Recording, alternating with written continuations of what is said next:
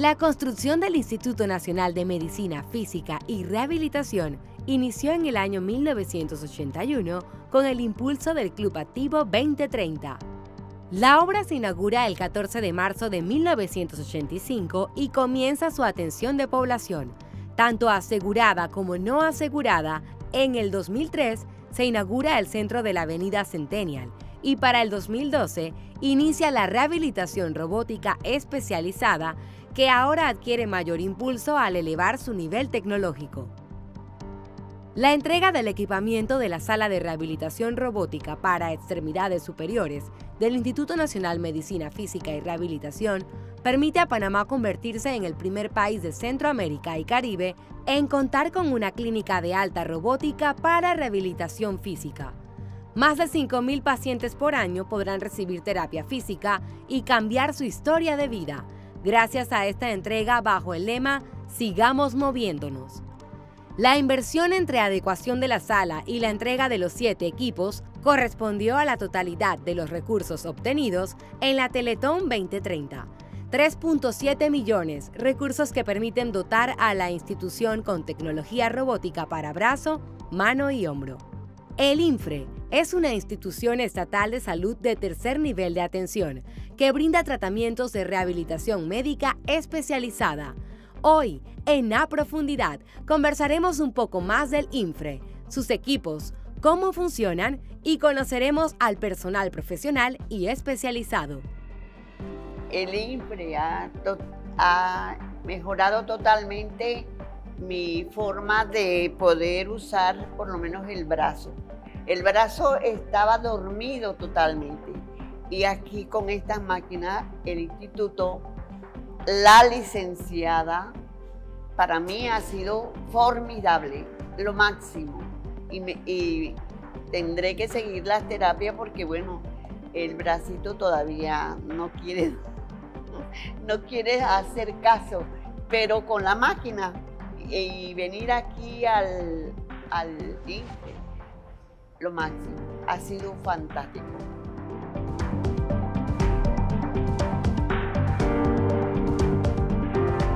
¿Qué tal amigos? Bienvenidos a Profundidad tratando temas de interés. Les saluda Carlos Iván Rivera. Hoy vamos a conversar sobre la rehabilitación motora en Panamá. Como siempre tenemos expertos que van a tratar este tema con nosotros, en lo cual pues también daremos a conocer qué medidas, qué tan adelantado está nuestro país en este tema. Como siempre, en compañía de Sara Ruiz. Sara, ¿cómo estás? Muchísimas gracias, Carlos. Estamos muy contentos el día de hoy de recibir a la doctora Gladys Rumbo.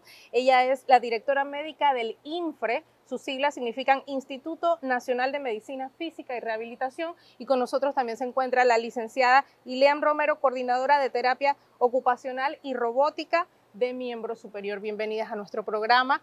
Quisiéramos conocer un poquito más sobre el Instituto Nacional de Medicina Física y Rehabilitación. Cuéntenos, doctora, cómo fueron sus inicios. Sabemos que eh, comenzaron a raíz de un proyecto muy bonito de Grupo 2030, la Teletón, ¿verdad? Entonces, cuéntenos un poquito sobre la historia. Eh, muy buenos días, agradecida de verdad por la invitación de parte de la familia del Instituto Nacional de Medicina Física y Rehabilitación. En los años 81, 82, el Club Activo 2030 en ese entonces hace dos teletones para realizar eh, las instalaciones, construir de lo que se llamaba el CAICRI. Y es en el año 1985 que se inaugura entonces el Centro de Rehabilitación para Impedidos, CRI, que se le denominaba. Inició atendiendo solo población infantil con discapacidad de cualquier índole, y estaba regido por el ministerio, en ese entonces solo por el Ministerio de Salud. Así estuvimos pues hasta el año 2001, que es cuando se convierte, eh, a, comenzamos a atender adultos, perdón, en el, en el, año 2001 comenzamos a atender adultos, ya no solo eran niños. ¿Por qué comenzamos a atender adultos? Porque estos niños fueron creciendo y luego nuestra, nuestra población está envejeciendo, es lo normal en las poblaciones. Eh, quedamos con, entonces con muchas personas adultas con algún tipo de discapacidad y se, se, dijo, bueno, entonces tenemos que comenzar a atender a la población adulta que tiene una discapacidad nueva o aquel niño que va creciendo y queda sin una instalación donde pueda continuar su rehabilitación. Entonces, en el año 2001 se comienza a atender a adultos y en el año 2003 cambiamos a lo que es un patronato eh, que ya no eh, eh, depende solamente del Ministerio de Salud, sino de un grupo que lo conforma, pues el Ministerio de Salud como presidente de este patronato, la Fundación Abut Shiners, Fundación Pro Integración, el Club Activo 2030 y un representante de los usuarios. Entonces cambiamos de, impedidos a el Instituto Nacional de Medicina Física y Rehabilitación. Interesante y sobre todo, eh, como usted ha mencionado, pues los cambios que se han dado y sobre todo la atención a personas adultas. También con nosotros está Ilian Romero, coordinadora de terapia ocupacional de robótica eh, de miembro superior, para que nos hable sobre las terapias que se están aplicando también a estas personas y qué, qué objetivo principal tienen las mismas. Eh, buenos días, eh, muchas gracias también por la invitación. Eh, me gustaría iniciar diciendo que pues dentro del Instituto de Medicina Física y Rehabilitación también se brinda el servicio de terapia ocupacional eh, esta profesión tiene como objetivo principal lograr que los pacientes que llegan a nuestros servicios puedan tener una mejor calidad de vida y puedan ser independientes en sus actividades de vida diaria. ¿Cuáles son esas actividades de vida diaria? Que el paciente pueda vestirse, que el paciente pueda bañarse, que el paciente pueda alimentarse, que el paciente pueda tener su higiene de forma independiente pese a la condición que tenga. Eh, teniendo estos equipos de robótica, es el complemento que necesitamos para que esa rehabilitación sea mucho mejor, porque estos equipos de robótica vienen a ayudar a que el paciente a través de las actividades que realiza pueda lograr realizar estas actividades que he mencionado anteriormente. Por ejemplo, yo necesito que un paciente para poder vestirse logre levantar sus brazos pero por la condición que tiene el paciente no lo logra. A través de los equipos, a través de las actividades que nosotros realizamos, llevamos al paciente a que poco a poco pueda ir logrando esas actividades. Nosotros, los seres humanos, somos seres ocupacionales por naturaleza y somos independientes. Cuando tenemos una condición y nos vemos limitados en alguna de las actividades que realizamos diariamente, nos causa un nivel de frustración y nuestro objetivo es que el paciente, en medio de la situación que tenga, en medio de la condición que tenga, pueda ir realizando sus actividades independientes, sin ayuda. Excelente. Cuéntenos, doctora Gladys, eh, básicamente cómo es el funcionamiento administrativo del instituto y de qué manera tienen los pacientes que ingresar. ¿Cuál es el proceso para poder tener un cupo dentro de, de la institución? Sí, es importante decirles que nosotros atendemos la discapacidad motora, la discapacidad física, porque hay diferentes tipos de discapacidad. Entonces, somos el Instituto Nacional de Referencia en, dentro de la discapacidad física, la discapacidad compleja. Entonces, eh, a veces esto causa un poquito de incomodidad, pues no todo tipo de discapacidad física se atiende en el instituto. Por ejemplo, no atenderíamos una persona que tiene una molestia cervical que le duele, que, que le examina un médico y no es, es simplemente por cansancio, por mala postura, no tiene ninguna afección nerviosa ni ósea importante no le está produciendo realmente un trastorno de participación, esto, eh, esta persona pues no sería candidata para ingresar. Eh, se ingresa a través de una referencia médica de cualquier médico del país y nosotros tenemos un filtro que es un médico con formación en rehabilitación que evalúa al paciente por cualquier diagnóstico que vaya el paciente y le da el visto bueno de ingreso o en su defecto pues le recomienda, siempre el paciente se va con una atención, le recomienda dónde debe continuar su proceso, porque a menudo nos llegan eh, eh, pacientes dentro del espectro autista, por ejemplo, nosotros no atendemos el espectro, solo discapacidad motora.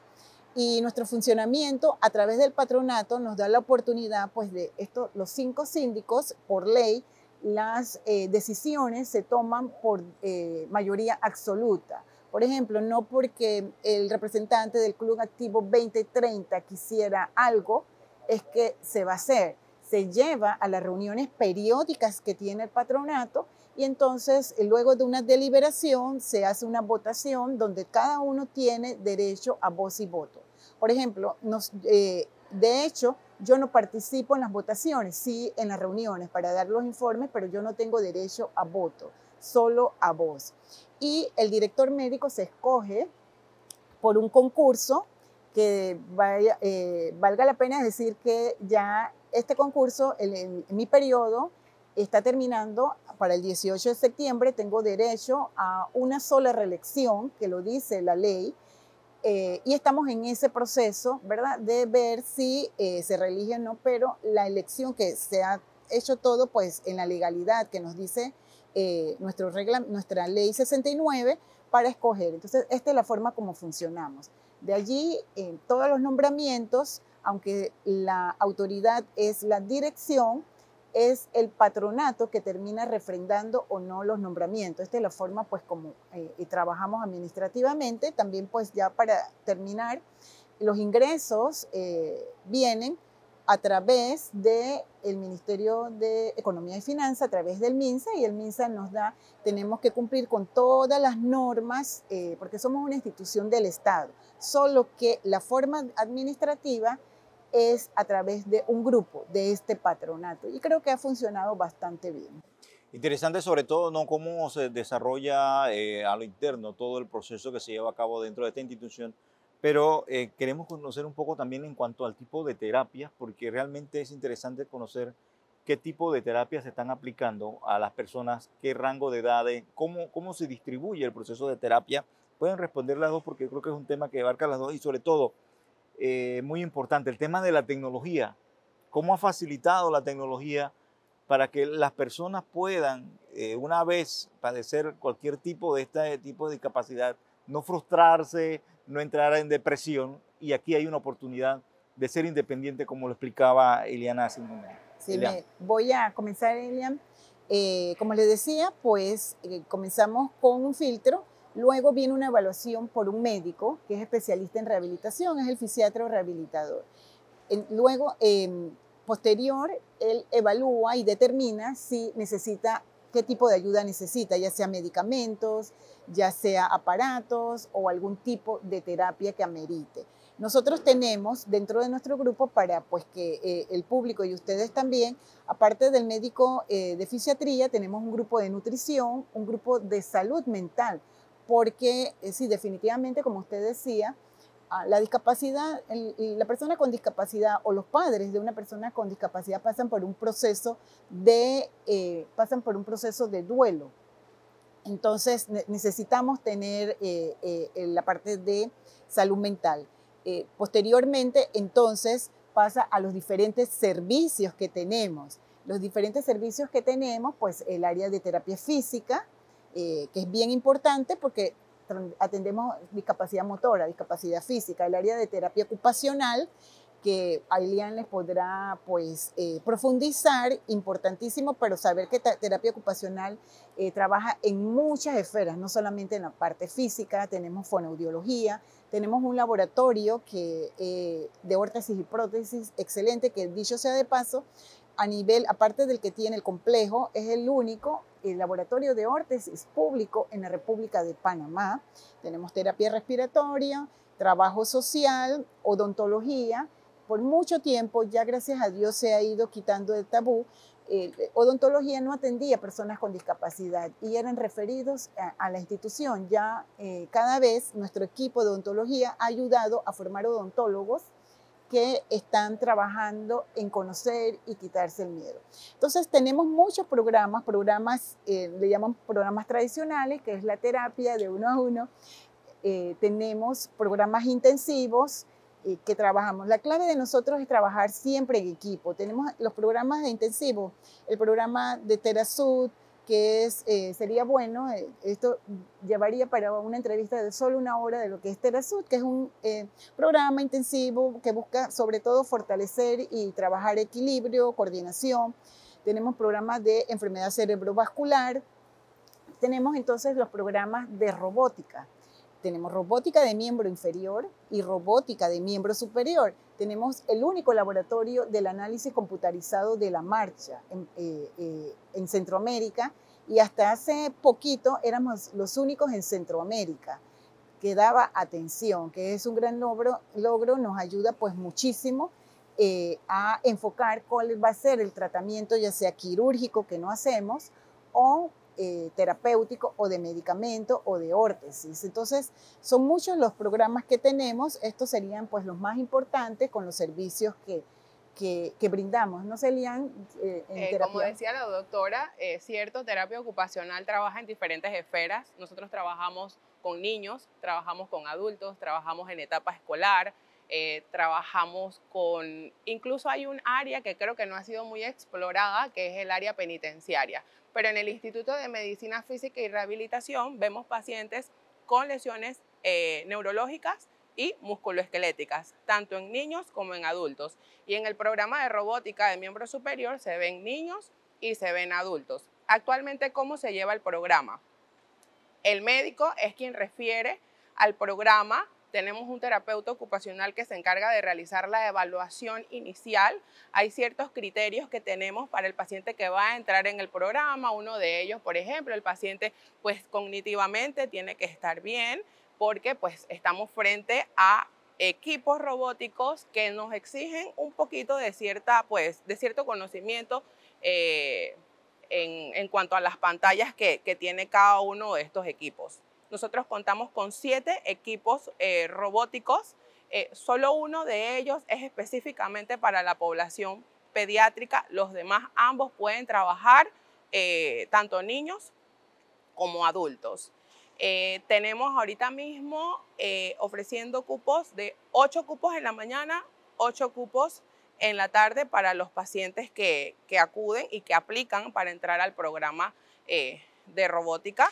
Ellos cumplen con 20 sesiones eh, dentro del programa diarias, excepto un día a la semana, que digamos que es el día que se les da de descanso al paciente, porque ellos además de estar en el programa de robótica, muchos acuden a diferentes programas, muchos están también en la terapia convencional. Para nosotros es importante que el paciente, además de estar en el programa, también pueda participar de las terapias convencionales. Ese complemento nos ayuda a que el paciente pueda evolucionar un poco mejor su condición. Entonces, este, actualmente, pues así estamos llevando el, programa. Hemos visto eh, hasta el momento más adultos que niños, pero sí se han atendido niños dentro del programa. Claro que sí, muy interesante todo esto, sobre todo viendo que tienen todo un servicio integral de diferentes eh, servicios que prestan a la, población en general. Tienen eh, lo que es la terapia física ocupacional, fonoaudiología, odontología, es parte de un todo. Eh, pero quisiéramos conversar un poquito puntualmente sobre la nueva sala de robótica. ¿Cuál fue el proceso para desarrollar este maravilloso proyecto? ¿Cuánto tiempo les tomó armarlo? ¿Qué, ¿Con qué equipos puntualmente cuentan, si nos pueden contar eh, los nombres de esos equipos y de qué manera funcionan. Ok, contamos con siete equipos, como le, mencioné anteriormente. Eh, tenemos el Armeo Power, que es un equipo que nos va a ayudar a trabajar el paciente en fases iniciales, por ejemplo, de un evento cerebrovascular en donde el paciente pues no tiene movimientos. Este equipo ayuda a que el paciente pues pueda iniciar en esa fase asistiéndole en los movimientos que requiere realizar. Tenemos el equipo Armeo Power Spring, que sería entonces el equipo que le sigue al paciente una vez completa esa fase con el Armeo Power, porque este equipo entonces sí requiere que ya el paciente tenga un poco de movimientos. Ellos tienen un brazo robótico que se ajusta al paciente y permite que el paciente realice los movimientos. En este caso, el Armeo Power lo asiste, es decir, que él lleva el movimiento del paciente. El Armeo Spring, entonces, el paciente es el que mueve el robot. ¿A qué lo va a ayudar? A que mejore la coordinación, a completar algunos rangos de movimientos articular, a que mejore un poco la fuerza muscular.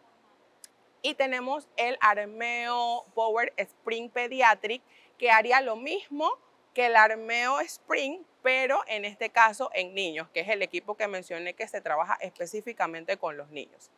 Tenemos el, Amadeo, que es un equipo que trabaja específicamente las manos y los dedos, la coordinación, eh, los movimientos de los dedos, eh, el fortalecimiento de los dedos. Tenemos el equipo Diego, que es un equipo que nos ayuda para trabajar hombros y codos y movimientos bilaterales. Con este equipo yo puedo trabajar un brazo o los dos brazos a la vez. Tengo el equipo Mairo, que es una tabla interactiva, es como una tablet gigantesca. Ella es específicamente para trabajar la parte cognitiva, tiene muchos juegos para trabajar esta parte de memoria y atención, concentración del paciente. Eh, incluso puedo mezclar algunos equipos, por ejemplo, Mairo y Diego son equipos que si yo quiero trabajar con los dos equipos a la vez con un paciente, lo puedo hacer. O sea, quiero trabajar hombros al paciente, tengo las ligas que trae el, equipo Diego y lo pongo frente a Mayro y estoy trabajándole hombro y a la vez estoy trabajando algo cognitivo. Y tengo el equipo Pablo, que es una, le decimos la Tyro Station, eh, viene con diferentes dispositivos que también nos ayudan a trabajar miembros superiores, pero también eh, dentro de todo lo que trae este equipo viene con una tabla se llama Timo y ella nos permite trabajar a los pacientes, eh, trabajar en los pacientes su equilibrio, tanto de forma bípeda o sedente, o sea, sentado o, de pie.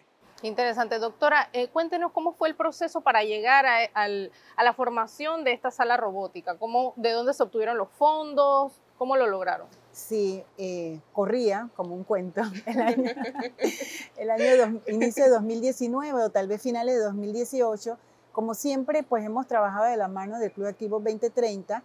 Ellos eh, nos presentaron una idea de, de aumentar lo que era la parte robótica. Ya habíamos, eh, la institución había comprado uno, pero los pioneros fueron el 2030 que nos dieron el primer robot de miembro inferior. Entonces, eh, evaluando estas ideas, se, surgió una visita a un centro fuera del país donde uno de los médicos, no fui yo, fue a evaluarlo con el Grupo Activo 2030 y un proveedor nacional. Vieron los equipos, cómo funcionaban, si podían traer esta tecnología pues a Panamá y allí surgió. Luego se presentó al cómo funciona, pues el, que ya serían ellos lo que serían, con propiedad de decirles, presentan eh, diferentes ideas al pleno del 2030 y escogen este la equipación de una unidad de manipulación robótica en el instituto como Teletón, como motivo de la Teletón del año 2019. Y pues en el 2019 se recogen los fondos. Realmente los equipos llegan a Panamá, eh, la inauguración oficial, para que sepan, fue el mes pasado. Eh, pero realmente los equipos llegaron a Panamá mucho, hace mucho tiempo. Sin embargo, no sé, y pues es propicio decirlo, que el Instituto Nacional en el año 2020, en febrero, recibe una llamada de la entonces ministra de Salud para que fuésemos eh, centro COVID. Eh, todas nuestras instalaciones, nuestros gimnasios que podrán ver, se convirtieron en camas de hospitalizados. Fue la primera institución no hospitalaria que tuvo pacientes COVID.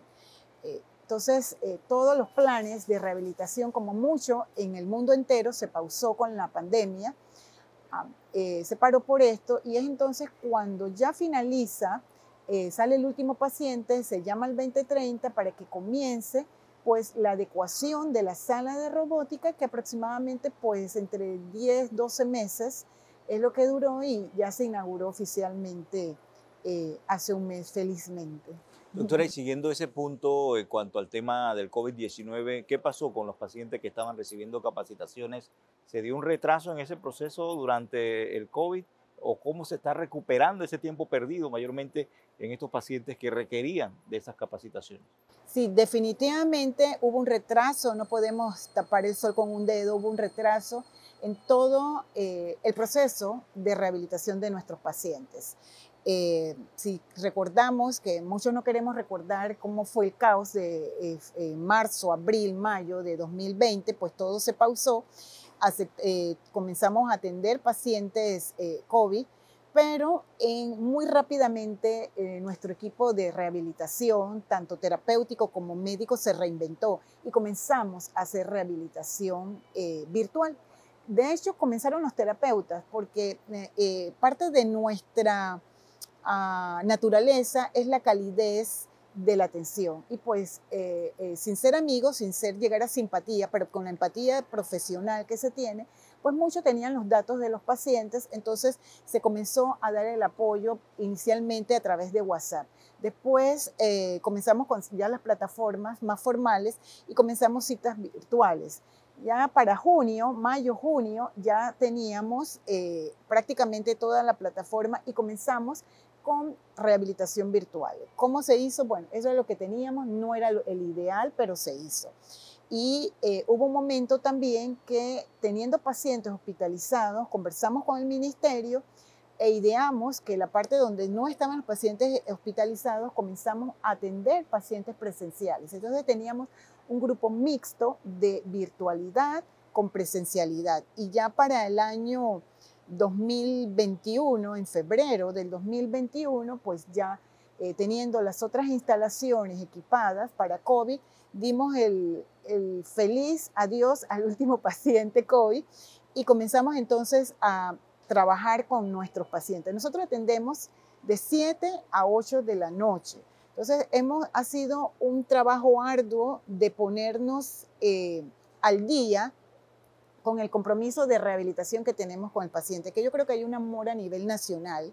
Eh, estamos eh, trabajando en esa mora. recientemente hemos hecho estrategias hemos ideado y la hemos puesto en pie estrategia para disminuir la mora en el tiempo de atención, porque pues sí estaban, eh, comenzaron a estar lejos, como dice la licenciada Elian, eh, al tener este robot, que una de las cosas eh, de la de las ventajas es que sea objetivo, esa atención, uno sabe dónde terminó porque el robot lleva un registro, eh, otro terapeuta puede seguir, mira, aquí llegó, puedes dar más, el paciente ve eh, de una forma una retroalimentación cómo va, pero también toda esta capacitación del personal todavía nos hace tener un poco, una mayor mora, pero al final es en beneficio.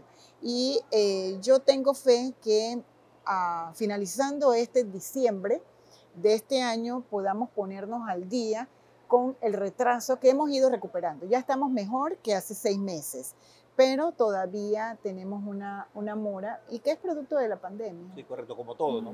Sí, doctora Rumbo, definitivamente usted dio en el clavo con la pregunta que yo le iba a hacer con referente a las capacitaciones del personal. ¿En qué estatus se encuentran en este momento con el tema de las capacitaciones y cuáles son las capacitaciones a las cuales tiene que asistir el personal? Si tienen que ser presenciales, virtuales, si tienen que ser en el exterior, tienen que viajar o si vienen a capacitarlos a Panamá.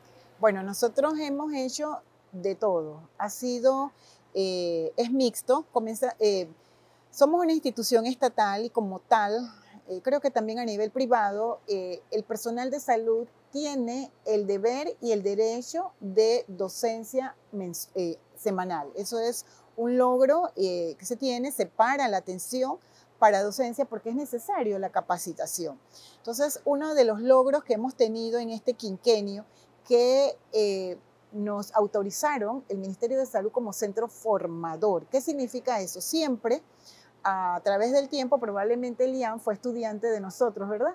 Eh, hemos tenido eh, la capacidad de aceptar estudiantes de licenciaturas en cuanto a terapia física, terapia ocupacional, fonoaudiología, órtesis, bueno, todo el trabajo social, inclusive arquitectura, ingeniería, fisiatría. El médico de, fisiatra toda la vida ha rotado tres meses desde que se inició la especialidad acá. Pero en este quinquenio, al, al darnos la autorización de centro formador, nosotros estamos formando, ya formamos el primer médico especialista en rehabilitación, que es un trabajo bien arduo. Eh, están los estudiantes de medicina de la Universidad de Panamá rotando por, las, por nosotros los de propedéutica, los que comienzan a, saber cómo examinar un paciente, están rotando, recibimos médicos en formación, que es lo que se denomina médicos eh, residentes de ortopedia, de geriatría, de medicina del dolor. Entonces nos estamos pues cada vez posicionando como un centro formador. Hemos recibido, eh, eh, hemos tenido congresos, cursos, capacitaciones, donde hemos traído una persona experta en algún tema, por ejemplo, en neurodesarrollo tuvimos y tuvimos una capacitación de dos meses. Allí hicimos eh, malabares con la atención porque no cerramos del todo, vemos como en tiempo extra, personal, tengo un personal, la verdad que muy comprometido, con una calidez enorme eh, a, nuestros pacientes. También hemos eh, viajado algunos al exterior a, a, formarse, por ejemplo en Marcha, que aquí no hay, ha tenido que ir al exterior, se van a congresos, hacemos capacitaciones internas, las docencias eh, semanales, y una vez al año, que también estuvo parado por pandemia, obviamente, hacemos un seminario para nuestro personal de que dura tres, cuatro días, dependiendo de los objetivos que tienen. De hecho, ahora en octubre, en octubre, ¿verdad? Sí, en octubre. Eh, tenemos nuestras jornadas de...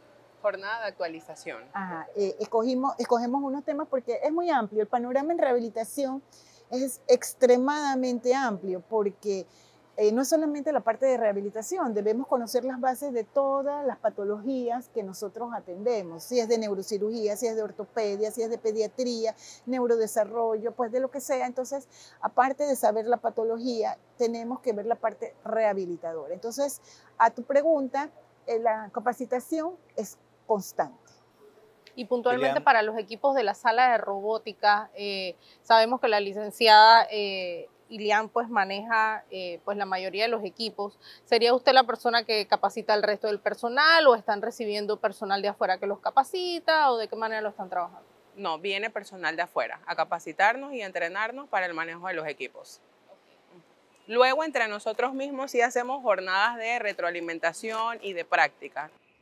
Ilian, sobre ese punto en cuanto a las capacitaciones y también sobre los avances en la tecnología, por ejemplo, eh, veníamos conversando con los compañeros el caso de Oscar Pistorius, que es un atleta, bueno, que estuvo involucrado en otra, otra situación, pero llamaba mucho la atención en un momento que ser una persona que no contaba con sus dos piernas, utilizaba una prótesis, inclusive en muchos casos se mencionaba que él tenía ventajas sobre las personas que no tenían ningún tipo de discapacidad, a pesar de estar usando prótesis. Esa tecnología que se está, que se está utilizando mayormente en área deportiva, eh, es una muestra de la evolución tecnológica que ha mantenido y que ha ayudado a muchas personas con, con eh, deficiencia o pérdida de algún miembro inferior o superior.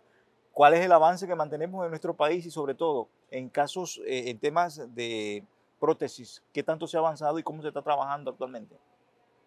Bueno, miembros inferiores, pues ya la doctora comentó que tenemos el equipo de marcha, que lo maneja el área de terapia física, eh, los avances que tienen los pacientes que van eh, a las instalaciones del instituto eh, y trabajan en los diferentes equipos, la verdad que es muy notoria. ver nosotros cómo llega el paciente y luego ver cómo va avanzando en su rehabilitación y cómo se va yo creo que si alguno tuviese la oportunidad de entrevistar a algún paciente y que él pudiese contar su vivencia, sería fantástico porque, porque sí lo vemos, sí lo vemos diariamente como nuestros pacientes van eh, progresando en sus actividades. Podemos ver un paciente que llega, que por ejemplo no puede eh, abrir su mano y a través de la rehabilitación, de esa combinación de, de actividad convencional, cuando hablo de actividad convencional son los ejercicios que hace él terapeuta, ¿verdad? El, equipo robótico hace algo que de repente no puede hacer el mismo terapeuta y es que nos brinda mayor repetición. Por ejemplo, cuando yo hago un ejercicio a un paciente que le estoy abriendo y cerrando la mano, por ejemplo, yo hago un conteo de 20 movimientos, pero el equipo me va a hacer un conteo de 500 en, en un minuto, en dos minutos. Entonces, el equipo nos va a reforzar esa parte y el paciente que va a lograr hacer una apertura de su mano. Y esa apertura de su mano a qué va a ayudar? A que él pueda agarrar un vaso de agua y que pueda tomar un vaso de agua solito, sin que alguien tenga que llevarle el vaso con un carricito y que él tome. Sí, definitivamente que yo tengo que hablar puntualmente de un caso de éxito. Mi hijo desde los 21 días de nacido fue diagnosticado con hipertonía, no podía abrir las manos.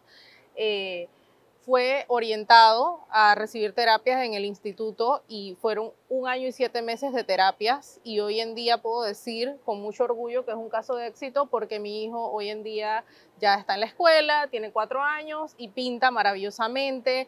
Todos los utensilios, tenedor, cuchara, los crayolas, todo lo utiliza a la perfección y todo gracias pues a la evolución que tuvo en, el instituto. Muy agradecida con ustedes por eso. Y definitivamente que es para que él pueda valerse por sí mismo. Ya hoy en día es un niño independiente que puede realizar todas sus actividades diarias, está en la escuela y se desarrolla de manera natural gracias a todo ese trabajo que se hizo con sus manos, con sus piernas, las terapias físicas, ocupacionales y también que desarrolló pues definitivamente ese cariño con las terapeutas que lo fueron atendiendo, con la fisiatra, y, a pesar de que pues durante la pandemia se suspendieron eh, las terapias, pero sí continuamos ciertas terapias de manera virtual y sí son muy efectivas. De, verdad que ustedes desarrollan una labor maravillosa y que es muy positiva para todos los panameños. Quería, eh, acotar algo, y disculpa, es que, cierto, eh, muchas historias de éxito desde la perspectiva de funcionalidad, de participación, pero tengo que mencionar cuando el paciente no termina siendo independientemente 100%.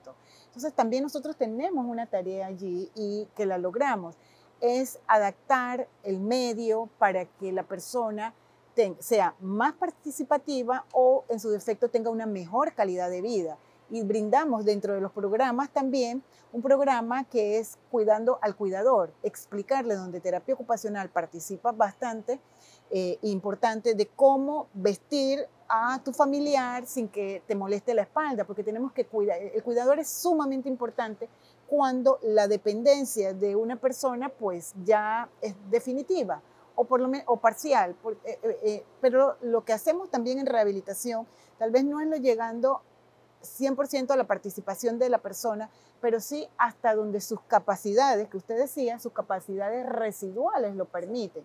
Cuando es una prótesis que podemos poner de miembros inferiores, pues bien, excelente. Yo creo que una... Sin embargo, cuando eh, es una discapacidad que eh, que la alteración funcional es permanente. Por ejemplo, una lesión medular, donde la persona no va a volver a caminar, va a tener problemas de la esfera sexual, eh, urinaria, en la piel, en la sensibilidad intestinal. Entonces, ¿cómo esa parte? Pues aprendemos a la eh, enseñamos a la persona a que aprenda a tener un nuevo estilo de vida. Y terapia ocupacional allí ayuda bastante. Tenemos un taller que se llama de vida independiente donde un terapeuta o va en una silla de ruedas, le enseña a la persona cómo eh, subir escaleras, por ejemplo, uno de un peldaño dos, eh, pendientes, cómo pasarse eh, sin lesionarse, cómo queremos inclusive hasta llegar a avanzar en algún momento que aprender a manejar un auto. Estamos terminando un proyecto muy bonito, un programa que es una casa de la vida diaria, es una casa que estamos por amoblar donde la persona pues cómo va a lavar, cómo va a cocinar. Es como un simulacro del paciente en su ambiente, en su casa. O sea, es entrenar al paciente teniendo la vivencia real de una casa con sillones, con cocina, recámara, baño y ver cómo el paciente se moviliza y hace todas sus actividades de forma normal dentro de su casa. Eh, eso que mencionaba la doctora Rumbo sí es muy importante porque sí, tenemos pacientes que por, por su condición probablemente pues no van a lograr una funcionalidad y sí se entrena entonces es al familiar o al cuidador y se le indica y se le enseña cómo, eh, cómo vestirlo, cómo bañarlo, cómo alimentarlo para que el paciente pueda tener una mejor calidad eh, de vida. Pero también tenemos el caso de pacientes que, por ejemplo, eh, se les dificulta colocarse el zapato o una media, eh, se les dificulta agarrar una cuchara y requiere de adaptaciones, que son ayudas técnicas que se le hace al paciente. por ejemplo, se le, se le adecua una cuchara para que él pueda comer, porque digamos que la cuchara normal que vemos en nuestras cocinas, esa no le funciona pero no quiere decir que porque esa no le funciona él no va a poder comer solo. Se le adapta la cuchara para que él pueda tener un buen agarre y comer de forma independiente. O sea, buscamos las formas para que el paciente reciba la ayuda que necesita. Interesante sobre todo ¿no? el trabajo que se hace mayormente, como mencionaba la doctora, hay pacientes que realmente no, no tienen posibilidad de movilidad de ningún tipo por la condición que mantienen, pero sin embargo se le fortalece las áreas en las cuales él pueda sentirse un poco más cómodo o más a gusto a pesar de su situación eh, de salud en ese momento. ¿Cuál es la población de pacientes que se maneja actualmente? Y si nos puede dar ejemplos de esos éxitos que se han logrado a través de ese trabajo, porque quizás muchas personas tienden a decir, terapia, terapia para qué, ¿por qué terapia? Ya yo realmente no necesito nada, porque creo que es un proceso de adaptación que una persona que ha vivido de una manera regular 30, 40 años, eh, lamentablemente cae en este tipo de situación, quizás le cuesta un poco más eh, ese, su mente de decir, bueno, creo que con terapia puedo mejorar otras cosas.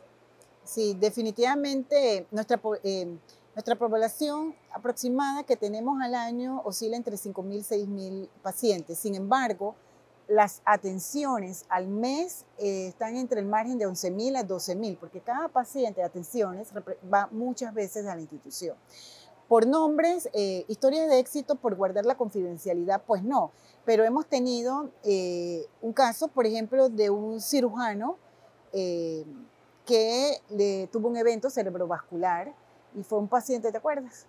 fue un paciente nuestro no, no, lamentablemente, pues la mano afectada motormente, motoramente, disculpe, eh, quedó con muchas afecciones y pues sí ya no podía eh, operar, pero sin embargo, esa persona se reintegró a sus actividades, participaba en las actividades de forma administrativa y se llegó pues a ese éxito. Pacientes que han estado en cuidados intensivos, hay una eh, que tienen sepsis y la sepsis ha llevado a necrosis, a digamos muerte de, de las partes distales, han tenido que amputarles extremidades inferiores, extremidades superiores y se le ha colocado, tanto niños como adultos hemos tenido casos y el paciente pues se le coloca su prótesis, eh, de miembros inferiores sobre todo y aprende pues a caminar, aprende muchas actividades de la vida diaria y como decía Elian, pues de repente no puede hacer las cosas solo, pero un paciente no se puede abatonar, ellos le enseñan, bueno, no compres camisas con botones, vamos a comprar una camisa con unos botones más grandes, con unos cierres, le adaptamos algo al cierre. Entonces es la forma de buscar que la persona sea funcional, que participe. Nuestra meta es participación y tiene un inicio, que eso es importante saberlo, y un final, la rehabilitación. Tampoco nos podemos quedar eternamente con los pacientes, que es uno de, los sufrimientos y el apego que tiene el paciente a la institución, y lo entiendo, pero pues tanto a la población médica, que no es de rehabilitación, como al paciente y a la población, hay un momento en que es lo que llegamos y la persona tiene que afrontar el mundo eh, tratar de cambiar cosas sociales que tenemos, problemas que tenemos, donde no permiten la participación, pero que ya desde el punto de vista de salud hicimos pues ya todo lo posible para que la persona participe, ¿cierto, Liam? Así es. Eh, como logros hemos tenido pacientes con lesiones medulares que han llegado eh, sin control de tronco, en camillas, incluso llegan en camillas en ambulancias y hoy en día forman parte de equipos de básquetbol hemos tenido pues con el, con el entrenamiento de vida independiente, que es justo para pacientes con lesiones medulares, hemos podido lograr sacar a pacientes que hoy en día forman parte de equipos y son súper independientes. Luego que llegaban, que los llegaban en camillas, en ambulancias, hoy en día pues están súper activos, son independientes, salen solos, no dependen de una persona que los lleve. Eh, son, son logros que nosotros a lo largo del tiempo hemos podido ver en nuestros pacientes. Qué, importante labor de verdad que desarrollan. Y conversando un poco más también sobre la parte de robótica, ¿de qué manera se integra un paciente a todos estos aparatos? ¿Tienen ustedes que introducirlos en él? ¿Necesitan el apoyo de algún familiar? ¿Cómo es el tema del manejo del peso para que el terapeuta pueda? Sabemos que hay pacientes de, todo, de, todos los tamaños, de todos los pesos. Entonces, ¿de qué manera ustedes trabajan esta integración con la, con la sala de robótica? Bueno, los pacientes que acuden al instituto siempre deben ir acompañados. Normalmente van acompañados de sus cuidadores o algún familiar. Eh, dentro de la interacción con el terapeuta, pues el terapeuta recibe a su paciente, eh, los equipos de robot eh, son equipos bastante accesibles. el, colocar al paciente en el, en el robot no es este, tan aparatoso. Por eso realizamos la evaluación inicial antes de que el paciente pues, entre en el programa porque debe cumplir ciertos criterios. El paciente tiene que tener un buen, un buen control de tronco. El paciente en el programa de robótica se trabaja sentado y se trabaja de pie. Por ende, el paciente que puede colocarse de pie se coloca de pie. El paciente que se puede trabajar sentado, se trabaja sentado, pero es importante que tenga un buen control de tronco para que el paciente tenga un poco de dominio de su cuerpo y poder trabajarlo. Al momento de trasladarse a la silla es un paciente que ya debe realizar los traslados, si es en silla de ruedas, por ejemplo, de la silla de ruedas a otra silla, entonces el paciente lo hace. Si requiere de un poco de asistencia, está entonces el familiar ya previamente el terapeuta le ha dado la indicación de cómo es la mecánica corporal al momento de hacer el traspaso del paciente. Bien, prácticamente estamos llegando al, final lamentablemente, pero sí sería interesante empezar acá con eh, Elian Romero eh, sobre ese trabajo que se está llevando a cabo, eh, recordarle a la población cómo deben buscar la atención médica, cuáles son los pasos para la atención médica, los horarios de atención y cómo deben dirigirse. Ya, ya se habló de que debe ser por una eh, referencia. médica. Sí, bueno, el paciente llega al instituto con su referencia, eh, lo recibe el médico de filtro, el médico de filtro lo pasa entonces a fisiatría, eh, el médico fisiatra realiza su evaluación y lo envía entonces a las diferentes áreas de atención que tenemos en el Instituto de Medicina Física y Rehabilitación. si es referido a terapia ocupacional, pues eh, si va al programa de robótica específicamente, lo recibe un terapeuta ocupacional eh, para hacer la evaluación inicial. Una vez el paciente es apto para entrar al programa, el paciente es agendado, cumple con 20 sesiones eh, de atención. Cada atención tiene un tiempo de 45 minutos actualmente lunes, martes, jueves y viernes, como dije anteriormente, tienen un día que es el día de descanso, pero realmente pues ellos están en otros programas a los que acuden también al instituto.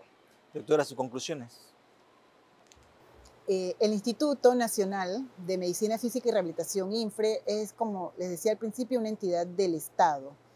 Eh, estamos ubicados en vía Centenario, diagonal a la Universidad Tecnológica, eh, nos pueden seguir en nuestras redes, arroba infre, y cualquier información, pues al 524-3500, 0102 o 03, hasta 04 llega. Conclusiones, pues la discapacidad motora es eh, la patología o la situación, la condición, no patología, disculpen, la condición que atendemos. Discapacidad motora de complejidad. Nuestro objetivo es eh, hacer que la persona sea lo más participativa eh, posible dentro, eh, de, eh, dentro de lo que la patología lo permite. Y para eso contamos con un equipo instruido, capacitado, pero sobre todo lo que manejamos es calidez en la atención. lamentablemente, pues no todo en la vida es gratis. solicitamos una pequeña, ínfima donación para los pacientes. ¿Para qué nos sirven estos fondos? Estos fondos nos sirven para tener eh, los insumos adecuados para que nuestros baños tengan los insumos de aseo, para que en las áreas terapéuticas tengan las geles, para que podamos tener que muchas veces pues los aportes estatales eh, que tratan de hacer lo máximo, pero pues eh, son limitados y las necesidades son muchas. Pero siempre también están abiertas las puertas para aquellas personas que quieran hacer algún otro tipo de donación eh, pueden acercarse, no solamente tienen que esperar ser atendidos. Si la atención vale 3 dólares, 4 dólares, pues, y yo considero que ha sido de lujo y yo quiero dar 500 dólares, 1000 dólares, 10 mil dólares, están todos invitados pues a darlos en nuestras instalaciones.